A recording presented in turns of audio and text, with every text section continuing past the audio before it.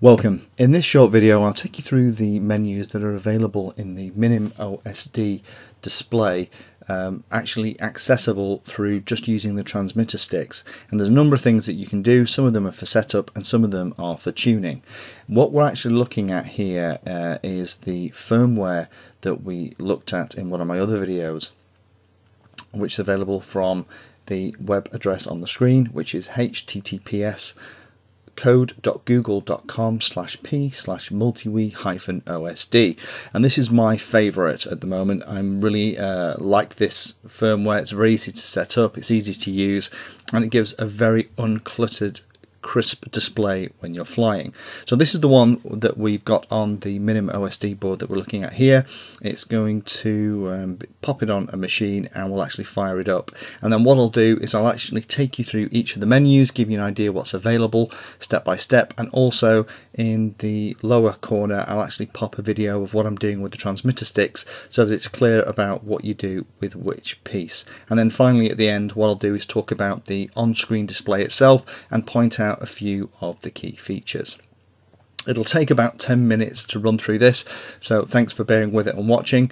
If you haven't already watched my setup videos for the Minim OSD, then I'd recommend that you spend a bit of time looking at um, these two or three videos. They kind of tell you everything you need to know to set it up to run on a standard multi-Wii without editing any of the code on that board, just using the signals that are already sent out the side of it that um, can drive the on-screen display. So without any more ado, let's go over to the bench. I'll fire up the camera pointing at the transmitter and start to record the on-screen display and take you through the menus.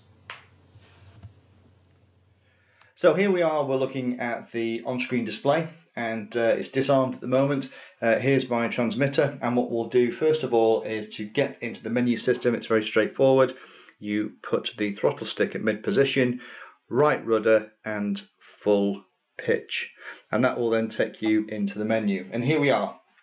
First menu is all around the PID configuration. This is exactly the same nomenclature as the GUI, so it's not um, 2. Point, it's not 23, it's 2.3 for the D setting on things like roll and pitch. And um, if you need to change anything at the field, you can do it here. And to move around the menus, you can use the right stick to go up, down, left, and right. And if any value you want to change, you'd use the left stick. But we're not going to change anything in here. We'll just go down and look at the other pages. I'd suggest that, you know, this is great if you're out the field and you've forgot your computer, but I find it actually slightly easier to use the PC. So we don't want to exit.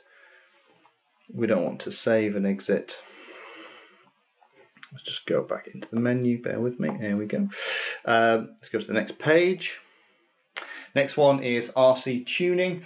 Um, this is where you can set up how much exponential roll rates and other bits and pieces to make the model more aggressive. This is pretty standard settings here. I haven't tweaked with these too much.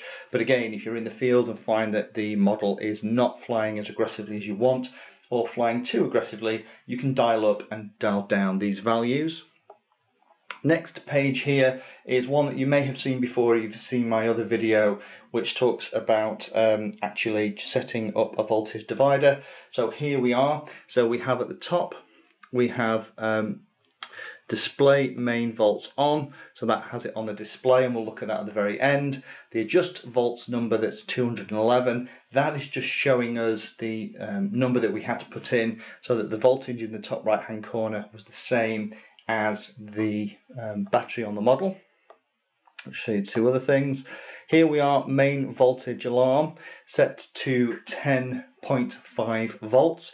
So that's standard for a 3S LiPo. So as soon as it gets to 10.5 volts or below, the icon on the on-screen display will start flashing. Uh, I don't have the video volts displayed because on my models I don't have a separate video uh, battery. It all runs off the main flight battery. Uh, down here is the number of cells. That then sets the graphic. There's a graphic in the bottom left hand corner which shows how full the battery is and that just shows, um, tells the board which one to use, whether three or four cell LiPo. So that's whether or not you're getting the information from the multi-Wii and that again is to adjust those volts for the video. Okay, so now we've done that, let's go into the next page, which is all around RSSI. So this is where you can set up, if you have the RSI, RSSI cable connected to one of the pins on the Minim OSD, then here's where you'd set it. So you can set it to display at the top, and then you can also do go through a little sequence to actually uh, define the minimum and maximum position and save those at the top so that it shows you in uh, between 0 and 100% in the OSD itself. Next page is the current. So what I'm doing here is because I don't have a current sensor hooked up, I'm actually using the virtual sensor. Now the virtual sensor is just reading the throttle position and making an intelligent guess of how much current is actually being pulled. Um, it's not bad actually, it's pretty pretty good. And if you find it's not quite accurate, you can actually adjust that value that it displays with the adjust amps. And what you can do is fly the model with a watt meter attached, have a look at what the number is, have a look at what it says in the on-screen display, and adjust this number until the two match. And this final one here is adjust zero, and that's so that you, um, when it starts up, the, the number that in the display is the right one. And my model sat just idling pulls about 250 to 300 milliamps. So I changed this number until it was showing 0.3 amps. Go down to the bottom. Next page. And then finally, you have a couple of pages around the display. So we can just choose whether we want the horizon, the sidebars, scrolling bars, everything else on here. The things that I don't have on mine, I don't like the throttle being shown. I have a rough idea where that is from my hand itself. I uh, don't want the GPS coordinates on there. I find them off-putting and um, I tend to use the return to home as the fail-safe anyway. If I was flying a long distance over open fields, I might turn that on and at least I'd have a chance of finding the model from the last coordinates I could see in the display. Um, sensors are on gimbal and map mode. Now the gimbal is that horizontal line. Now map mode is an interesting one. This is one that you set in the um, in the code when you're actually writing to the board. And map mode is something that I have, and we'll look at that in a second when we go back to the main display. Map mode is where rather than having a standard heads up display where the middle of the heads up is the horizon and your direction you're looking, it actually shows one of two things. It shows either the home location in the center, marked with a H, with the copter around it, or it shows the copter in the middle and the home position rotates around. So you have a little graphical map of where home is in relation to you to help you fly back to it.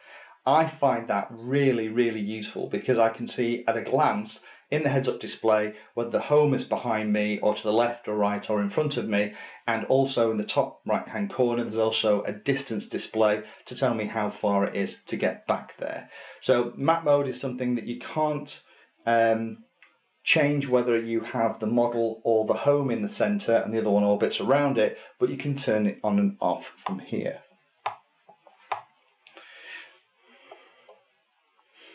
And then you can have some other bits and pieces in here. So here's that reference voltage, the 1.1 volts in here that we talked about in one of my other videos where we discussed the uh, voltage divider. This is where it's set.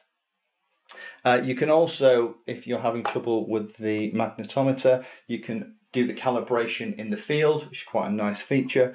And then the other two are what the signal is going to be. I'm in the UK, so it's good old PAL. And uh, again, because in the UK, I like miles, so um, it's an imperial system. So I'm just go back to the bottom. And hopefully you get an idea of what each of the sticks do here. So you can see the right one is moving around and the left one is actually changing things. So I think the last time, last couple then, GPS time, uh, you've got the display uh, for the GPS time to show you what time it is and I wouldn't really worry about that to be honest. You can change the time zone. Um, when I'm flying, the last thing I want to think about is time apart from how long I've been in the air. And then you have the statistics which is the maximum distance traveled, maximum altitude, speed, and other bits and bobs. And then you're back to PID config. So that hopefully is useful for the, those of you who are interested in this. Let's just jump out of it. So here's my on-screen display. So at the top left-hand corner, you can see that the multi-Wii can see five um, satellites for GPS. We can, so we've got a lock. You can see in the bottom left-hand corner, there's the battery voltage, the 11.7 volts. And again, because we have set it up to 3S, you can see it's showing that it's kind of three quarters full. You have a little mile per hour in the left middle side of the display so I can see my speed and because I've got it set to imperial it's going to be miles an hour which is good and then in the top right hand corner that is the distance to home arrow showing me the distance to home and the amount of distance there is and then you've got at the bottom in the middle the amperage so the 0.3 amps I'm pulling and the 56 milliamp hours that I've pulled since I powered the craft on and then the top um, in the middle is the compass. So as I move the model, you should see that move around. And then in the bottom right hand corner is the amount of time that the system's been powered on. Last thing I'll talk about then is in the very middle. In the very middle you can see that there's a H at the centre of the artificial horizon. So let me just move that so you can see the artificial horizon move. The H is the home. So the way this works is that as I fly the craft around, I have mine set so that the craft always stays in the middle and that H will wander around the screen to show me which direction home is for when I need to fly back. So Hopefully that's interesting for you and uh, that helps explain the settings that are available through the on-screen display for this firmware version. If you have any comments or questions, then let me know. Thanks for watching. Please like and subscribe. Happy flying.